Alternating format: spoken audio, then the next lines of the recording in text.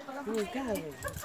भोलि के अरे भोलि अनि त्यो अरू- भोलि पनि त हाफ बेलामा अरूलाई पल्साउनु अनि मा देवीलाई पनि सम्झेर आएको यता हेर्नुहोस् न हेर्दैमा के हुन्छ र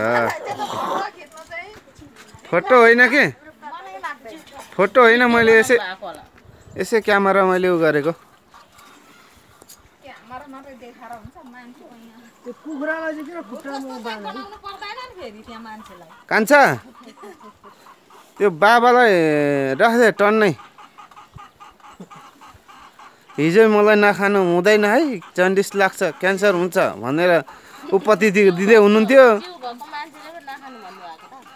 लु अहिले चाहिँ छोरी आ- मान्छे डेलिभरी हुँदा चाहिँ नखानु तेल हामी बुढोले त अब खाने हो नि केटा हो। तपाईँ त्यहीँ एक सुन्नु बुझ्नुहोस्।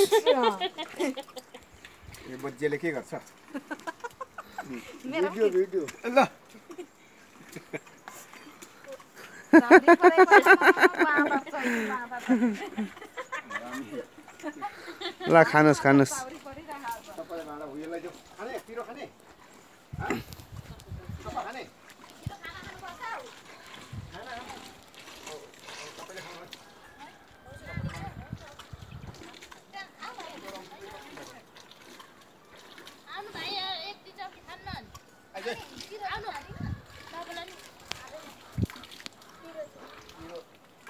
तल घरबाट हुँदैन